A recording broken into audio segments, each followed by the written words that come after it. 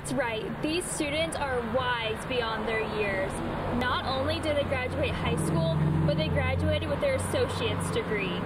They are looking to have careers as teachers in just a few short years due to the Teacher Cadet Program.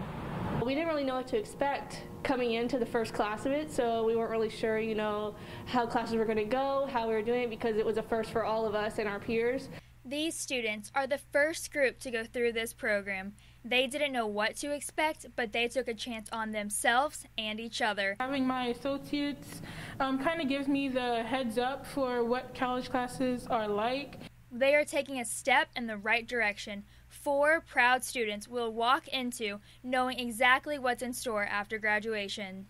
Any given turn in the last four years, they could have said, you know what, I, I don't I don't want to work this hard. I don't want to pursue my associate's degree. I don't need to take college classes. I don't I don't want to come to class during a pandemic when I'm attending class on Zoom from home. Never, ever, not once did they shy away from what what their destiny would be.